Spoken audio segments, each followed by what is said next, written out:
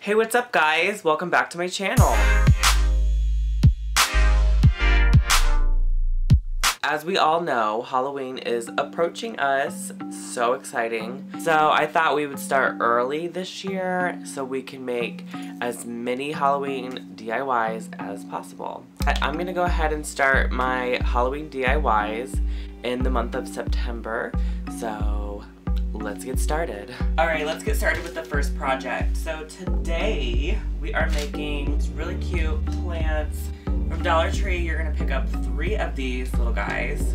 So you're gonna pick up three of those. Dollar Tree also sells these mainly in the, the spring to summertime. That's when I got these, so I don't really know if they still have them, but it comes in a pack of three.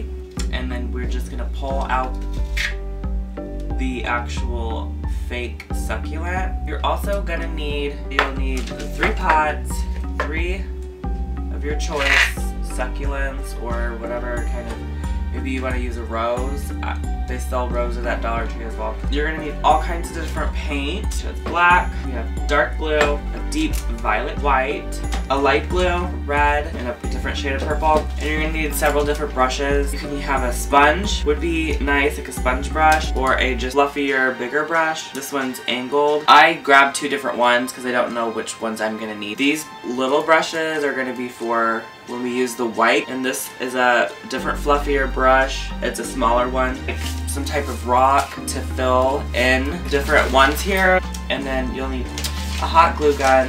We have different sets of like eyeballs here. We have these are yellow eyes and then these are green cat eyes. Let's get started. So we're first gonna paint our pot. So just paint the entire pot black Alright, so now that you have your pots entirely painted, I did three coats of paint and I also did the rim and a little bit down on the inside.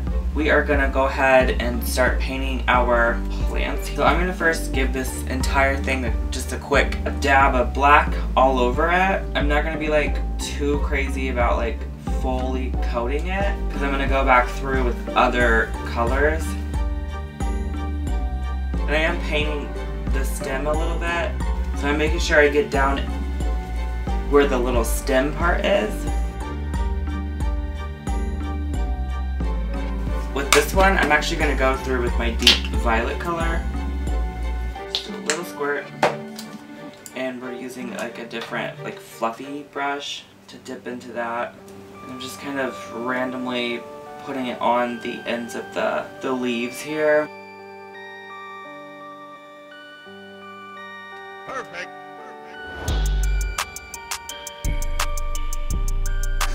Mainly focusing this purple color on the inside of the leaves and not so much on the back part or the outside of the leaf.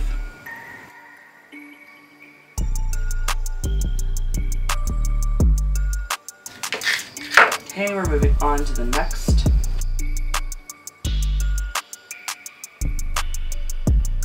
And I'm just like stippling this on in random spots. Okay, so what I ended up doing was going through all three of them with a coat of black. And then you saw me do the purple on this one.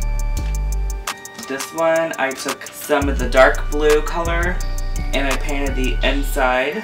I like that it still looks black, but it has like a slight pop of color in there. It's very hard to tell. This one has some red added to it, so it's like black with a dark red. It's very subtle, which is perfect. That's what I want. So it literally just looks black. Camera's not really picking up the color here, but there is hints of different blues on here. Pick up one of our little pots here. I'm gonna use some white paint. On here, I'm going to write my little, my fine point brush. Set this down so I have it steady on the table. And you can write whatever you want. I'm going to write boo.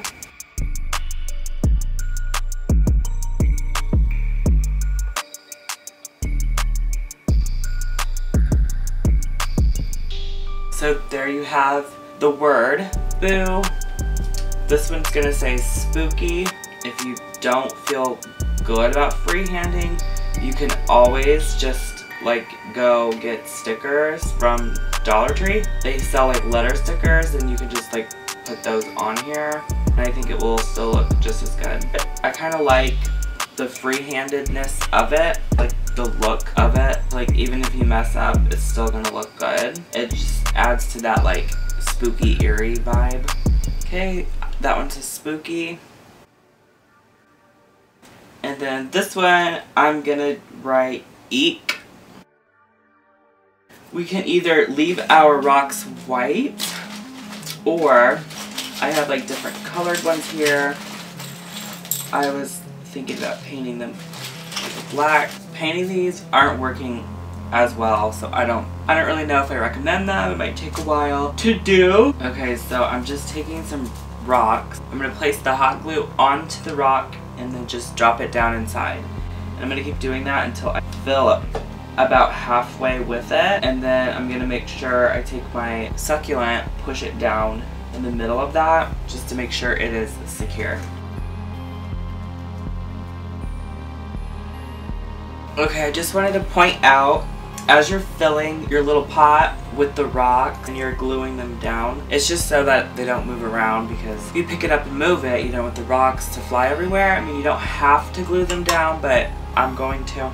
I want to point out that in the middle, you kind of want to leave the center like a little just a small area where you're able to stick your stem down in there that your succulent fits into the pot. Now I'm going to show you guys, I'm going to take an eyeball here and glue it onto the succulent just to give a little creepier vibe. So how I'm going to do that is I'm going to apply hot glue just on the tip of this eye. And I got these eyes from Hobby Lobby, I do believe. So I'm just pushing that in the center of the succulent here. I'm going to hold it for like 15 seconds just to make sure that hot glue dries and that the eyeball is standing straight up. Now you can't really do this with every succulent plant. I just know this one in particular you're able to because there is a small gap in the middle here, perfect for the eyeball. So this is that first one I showed you up close earlier. But there's really no space in the middle to put an eye. You could put eyes on the outsides or just place them in there randomly if you want. And there's really not much of a space here, but this one had a space. Put the eye right there. And if you wanted to do a much cheaper version of that, Dollar Tree does sell the dark purple and the black roses, and they have like eyeballs in there. And you guys will be able to see it since my camera's not picking up on a lot. So I was accidentally rubbing my fingers right here around the edge and it kind of exposed the natural tone of the pot and it almost looks kind of rustic in a way and I really like that. You could just take your finger and just rub ever so slightly and it rubs the paint off. I don't even know if you guys can see that or not. So sorry if you cannot. So this would be the finished pot and you can paint these stones black if you want to. If you liked any part of this video, please give it a thumbs up for me. I really appreciate that. That helps me out so much. As a small creator that is still growing, thank you to all my new subscribers. I'm so happy a lot of you guys are enjoying these Halloween DIYs. If you haven't already, don't forget to hit that subscribe button. If you don't want to miss any of my future videos, don't forget to hit that notification bell. And as always, thank you for watching. I'll see you guys in the next video. Bye, I love ya.